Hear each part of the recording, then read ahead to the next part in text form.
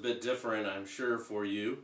And uh, I hope that if you're watching this video, I am in Michigan uh, attending my in-laws church. The alternatives to doing that are not as pleasant, I'm sure. So uh, I miss being with you guys today.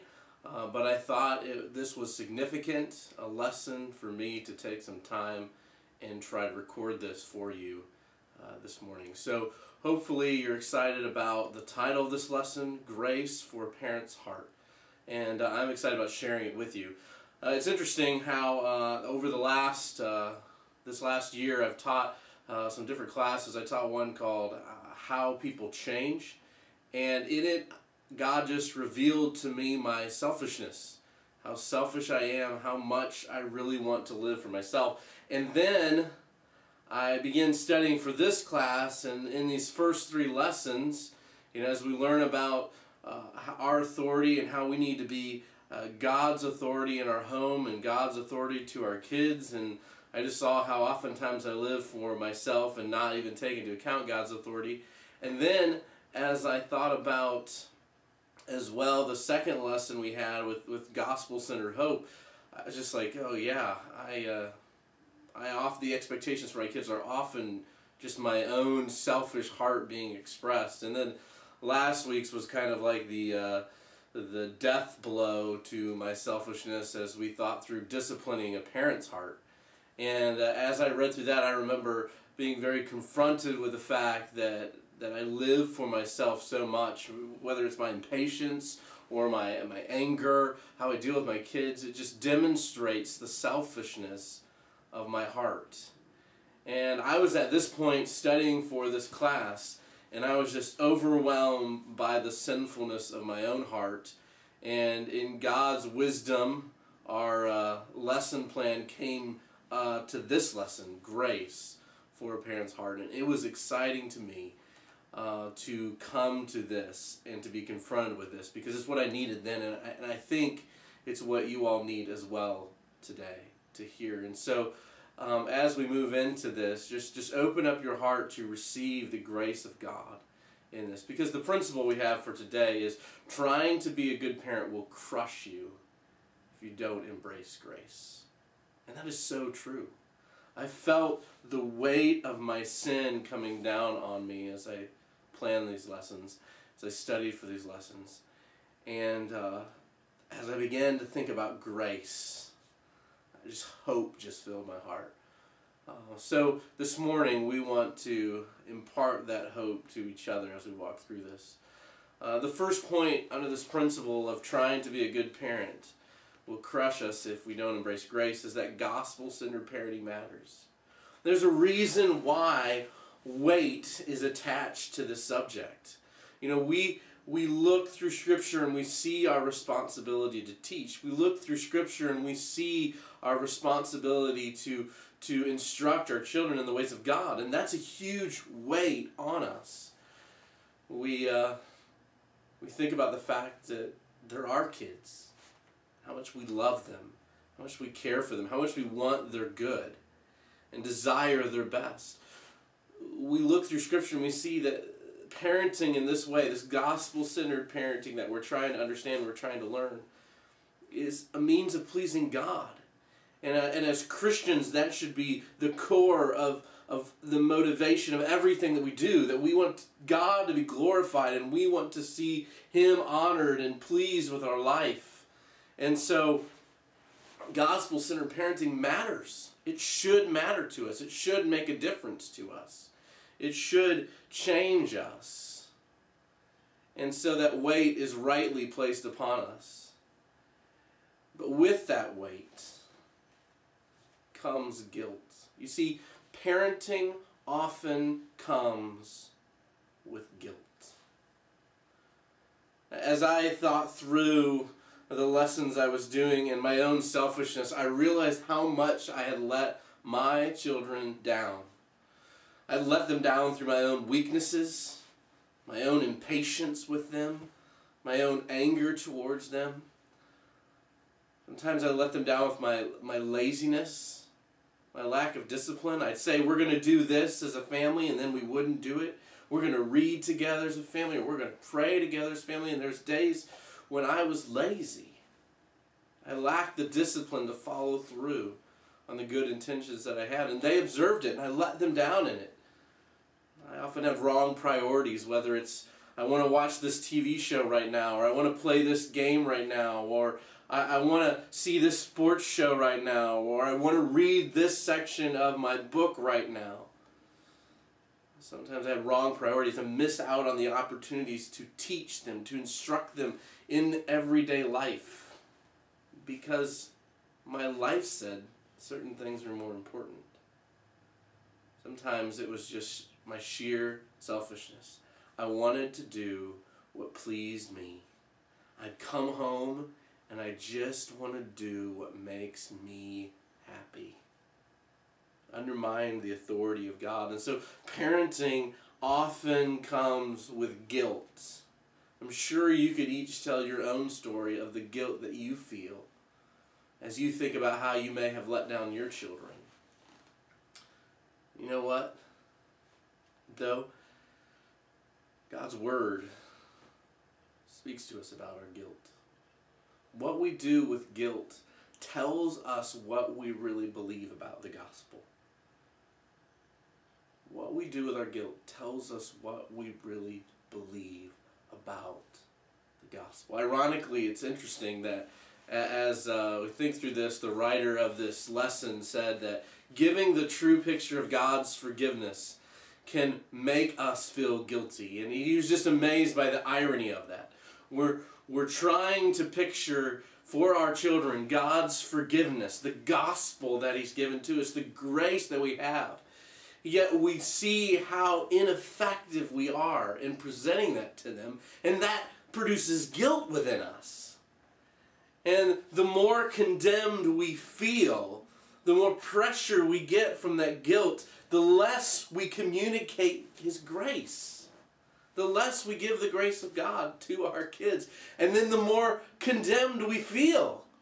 Then less grace and more condemnation. I'm not, I'm not communicating it like I should, and now I feel more condemnation and more guilt. What's the answer?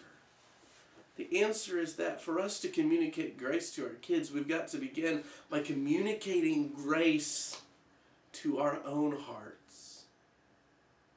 When we first communicate grace to our own hearts, then we can effectively communicate grace to our kids. Not before.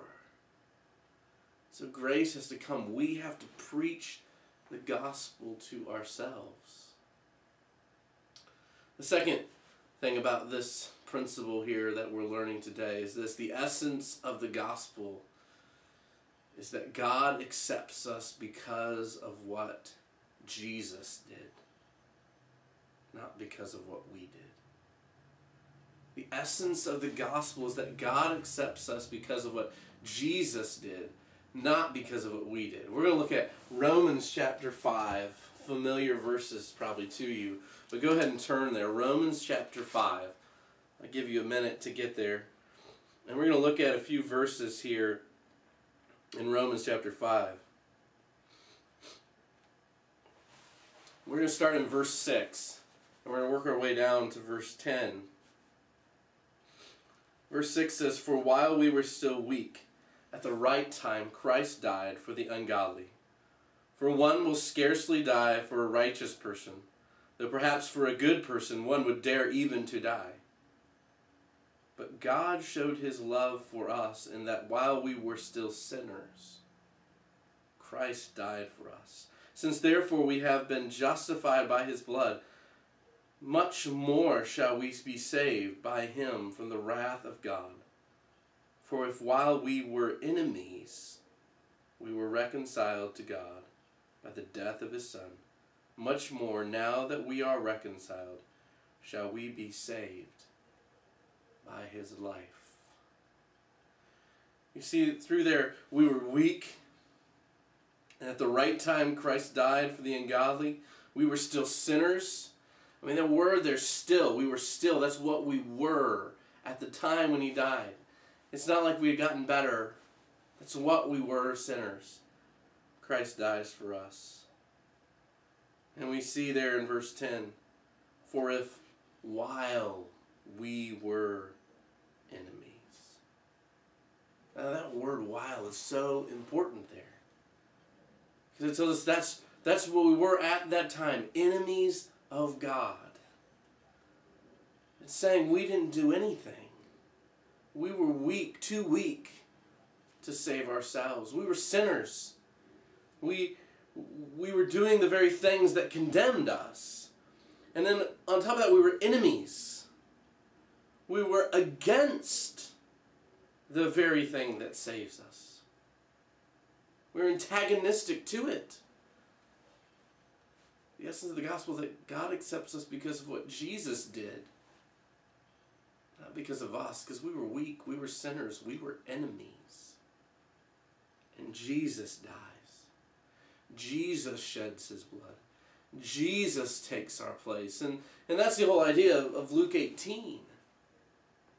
Jesus is asking the Pharisees who leaves approved by God. It's not the Pharisee praising himself. But Rather, it's the tax collector who doesn't. The tax collector who begs for God's mercy. You see, earning forgiveness, if that's what we desire to do, to earn it of ourselves, equals a denial of God's grace. It denies the very grace we desperately need for our forgiveness. We can't earn we can only accept what has done, been done for us through Jesus Christ. And so the gospel presents us with the liberating discovery that we're sinners. That's what we are sinners. And it should be liberating for us to understand that fact. Because it, it, it's not as if that fact alone liberates us, but the fact that in being sinners, God has given a remedy, a hope, a means of being made right with Him. It's sinners that Jesus came to die for. Jesus didn't come to heal the, the, those who thought they were well, but rather the sick. He came for sinners. And so it's liberating to us as the gospel presents us with this truth that we are sinners. And it's interesting as we think about our families, we're a bunch of sinners thrown into a family unit together, to live together. Some of us in tighter places than others, mind you. I know how that is. And, uh, you know, you live in an RV for a little while and you really know you're sinners. so, but, but you got sinners thrown into families together, and what does that equal? That equals friction, that equals more sin. I mean, you get sinners sinning against sinners against sinners, and you just got tons of sin going on.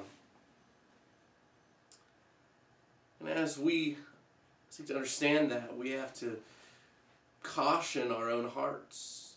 We have a tendency as we begin to understand and see the sinfulness, but yet not recognize the sinfulness of our heart to parent in a very legalistic way, which, which makes uh, it all about the rules um, that the gospel is just a matter of rules that we're to follow.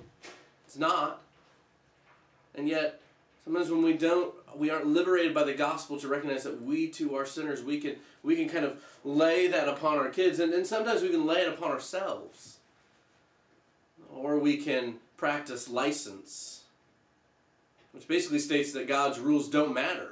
One is the gospel is just a matter of rules, and the other one says that God's rules don't matter. And it's hard to see grace in that. Because what difference does it make if I'm a sinner or not? It does make a difference.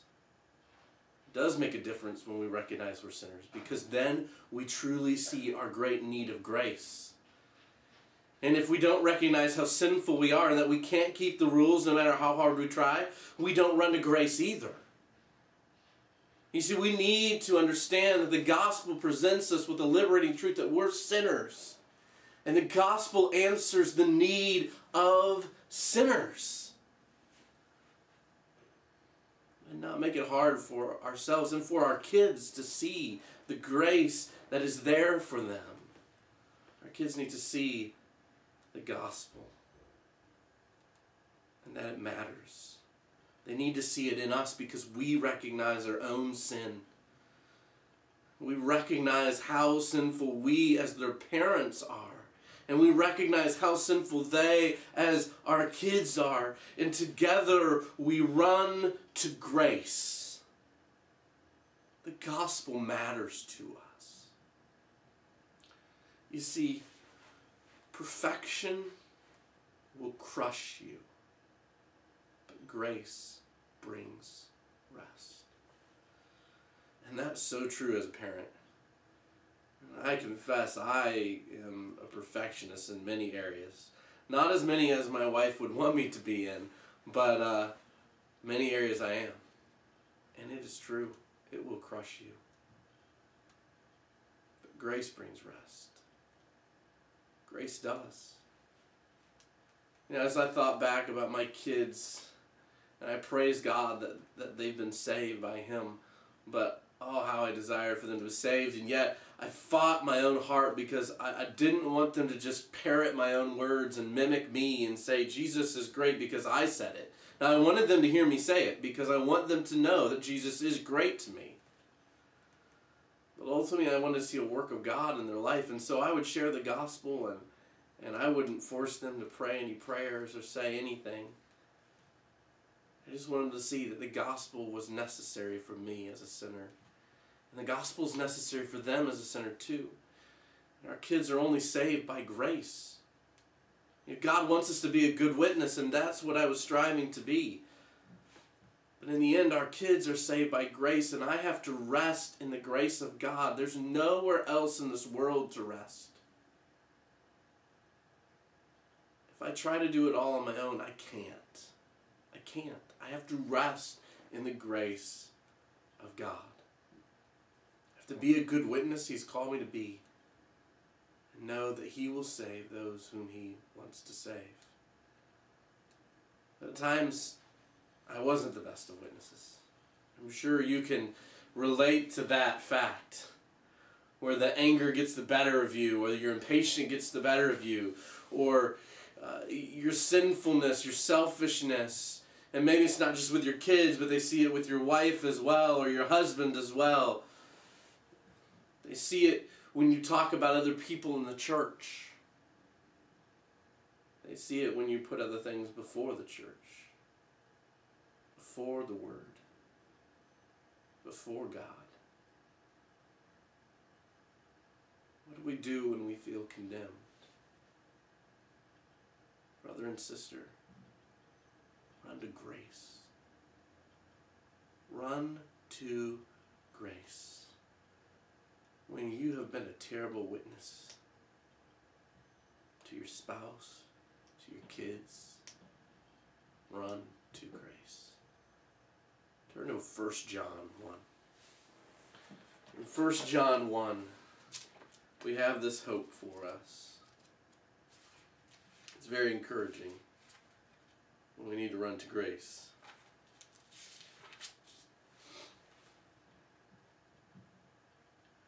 It's a familiar passage in verse 9. But before we get to verse 9, let's, let's read, uh, let's start in verse 5 and read down. This is the message that we have heard from him and proclaimed to you that God is light, and in him is no darkness at all. If we say we have fellowship with him while we walk in the darkness, we lie and do not practice the truth. But if we walk in the light, as he is in the light, we have fellowship with one another.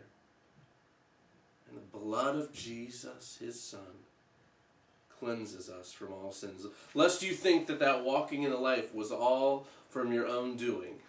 John wisely places in here, it's the blood of Jesus Christ that cleanses us from all our sins. He goes on to say, if we say we have no sin, we deceive ourselves and the truth is not in us. You see, there's a liberating aspect to discovering that we're sinners, to admitting that we're sinners in need of grace. Because there's the blood of Jesus Christ who covers our sins, cleanses us from sins. And based upon that cleansing, he goes on to say, if we confess our sins, he is faithful and just to forgive us our sins and to cleanse us from all unrighteousness. Run to grace and repentance and in faith. Run to grace, confessing our sins to God. Yes, I did this. It was wrong. Please forgive me. In faith, we believe blood of Jesus Christ cleanses us from all sin.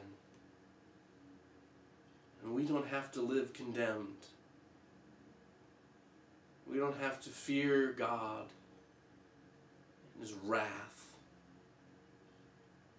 Rather, our, our fear of God should drive us to repentance. And our faith in God should see His love being poured out upon us through the work of His Son on the cross. And that we are forgiven. And if we live in that, that running to grace and repentance and faith, if we live in that, brothers and sisters, we can parent our children. We can parent them with the gospel. We can have a gospel centered family and gospel centered homes. If we continue to hold the gospel firmly and preach it to our own hearts first and then to theirs. Brothers and sisters, I miss being with you. I hope that this video has been encouragement. This lesson has been encouragement to your heart as it has been to mine. You're in my prayers.